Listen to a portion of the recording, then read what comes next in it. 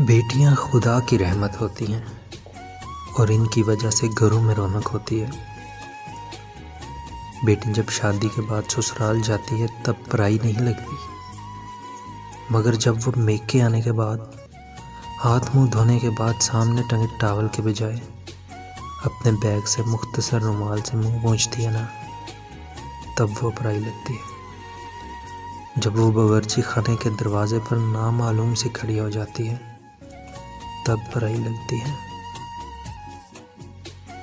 जब वो पानी के गिलास के लिए इधर उधर आँखें घुमाती है ना, तब बुराई लगती है। जब वो पूछती है, वॉशिंग मशीन चलाऊं क्या? तब बुराई लगती है। जब मेज़ पर खाना लगने के बाद भी बर्तन खोल कर नहीं देखती, तब बुराई लगती है। जब पैसे गिनते वक्त नज़रें चुराती है तब बुराई लगती है। जब बात बात पर गैर ज़रूरी कह के लगाकर खुश होने का ड्रामा करती है, तब बुराई लगती है। और लौटते वक्त अब कब आओगी? इसके जवाब में, देखो, अब कब आना होता है, ये जवाब देती है ना, तब बुराई लगती है।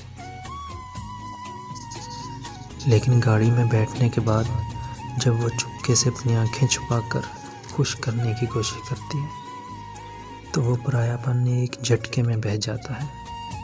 तब वो पराई सी लगती है। नहीं चाहिए हिस्सा भैया, मेरा मेका सजाए रखना। कुछ ना देना मुझे, बस मोहब्बत बनाए रखना। बाबा के इस घर में मेरी याद बसाए रखना। बच्चों के जहनों में मेरा मान बनाए रखना। बेटी हूँ हमेशा इस घर की। ये एजाज़ सजाए रखना। मेरी दुआ है, अल्लाह ताला सबकी बहन बेटियों को अपने हिफ्ज़ ईमान में रखे। इन्हें कभी किसी का मोहताज ना बनाए इन्हें अपने घरों में खुश और आबाद रखे। आमीन।